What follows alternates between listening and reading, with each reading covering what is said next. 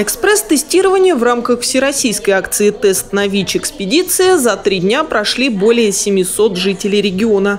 В четверг в стенах Ивановской медицинской академии подводили итоги кампании. Мобильные пункты тестирования работали в пяти городах региона – Иванове, Кениш, Мишуе, Вичуге и Фурманове.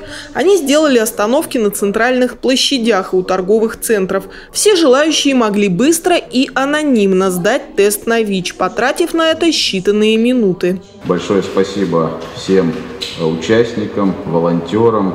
Э, очень приятно, что достаточно активны были жители. Мы сумели за эти дни 735 человек тестировать э, и донести те смыслы, которые мы планировали.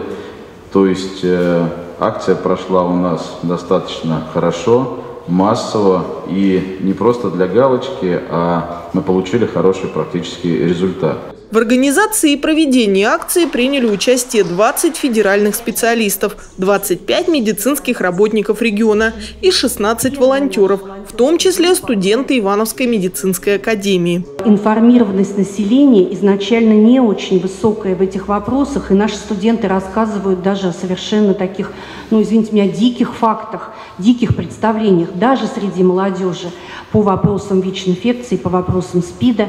И, конечно, очень важным этапом их профессионального становления является то, что они участвуют в просвещении населения, в разъяснении всех этих вопросов. И второй момент, второй результат, который мы получаем, несомненно, это как раз то, что они видят. Эти люди живут среди нас, эти люди живут в обществе, эти люди хотят жить э, с радостью, эти люди хотят иметь вот то счастье, которое имеет каждый человек команде с медиками работали также квалифицированные психологи. Цель акции не только помочь ивановцам узнать свой ВИЧ-статус, но и максимально распространить информацию об этом заболевании, снизить уровень дискриминации ВИЧ-положительных больных. Наталья Гутарина, Денис Денисов, РТВ Иваново.